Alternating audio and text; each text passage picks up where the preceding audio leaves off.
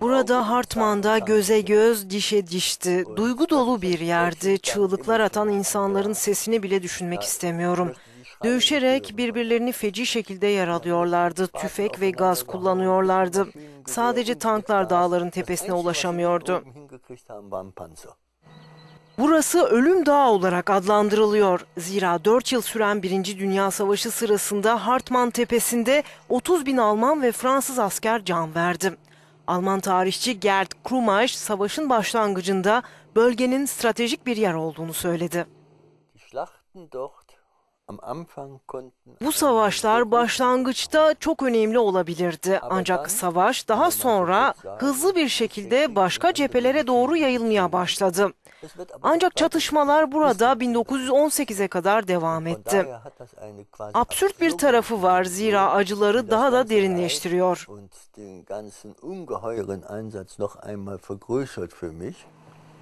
Savaş sırasında Hartman Tepesi sembolik bir öneme sahipti. En kanlı savaşlar 1915 yılında yaşandı. Kanlı savaşlardan birçok iz kaldı. Sığınaklar, yeraltı galerileri görülüyor. 30 bin Fransız ve Alman askerin burada öldüğü söyleniyor. Çoğu bu mezarda bulunuyor. Ancak anıtlar sadece Fransız askerleri için yapılmıştı. Birinci Dünya Savaşı'ndan bir asır sonra Alman ve Fransız hükümetleri birlikte müze kurmaya karar verdi. Dostluk ve barışı simgeleyen törenlerin sembolik açıdan burada yapılması kararlaştırıldı. 4 yıl süren büyük savaş 10 milyon kişinin ölmesine sebep oldu. 20 milyon kişi ise yaralandı. Savaş Kuzey Denizi'nden Orta Doğu çöllerine kadar uzanıyordu.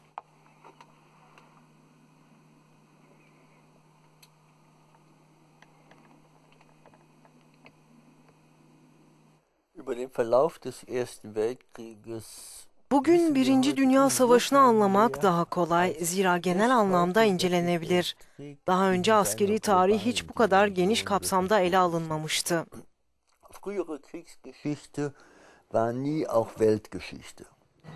Almanya bu olaylara yeterince ilgi göstermediği için ulusal parlamento tarafından eleştiri yağmuruna tutuldu. Almanya, Fransa ve İngiltere'nin bu konuda yaptığı harcamaların oldukça gerisinde kalıyor.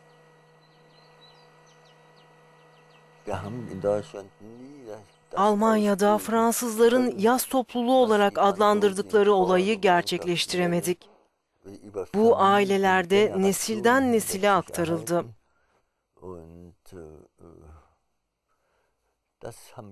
Biz bunu Almanya'da yapmayı başaramadık. Fransa'da Birinci Dünya Savaşı hatıraları geçmişteki kadar canlı değil. Savaşa katılanlar ölünce bazı şeyler hafızalardan silinmeye başlandı. Ancak Büyük Savaş ülkeyi yakından ilgilendiren bir olay olarak hala Fransa'da hafızalarda yerini koruyor.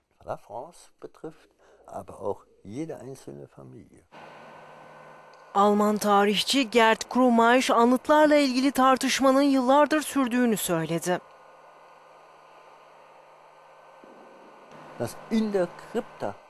Alman askerlerini anıtlarla hatırlamak gerçekten çok önemli. Uzun yıllar tartışıldı bu konu ve sonunda gerçekleşti.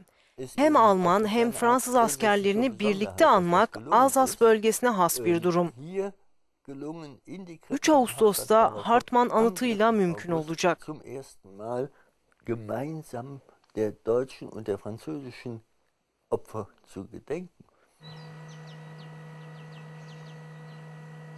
Avrupa Birliği zor bir dönemden geçerken ve ekonomik krizden çıkmaya çalışırken sık sık birlik ve beraberlik çağrıları yapıyor.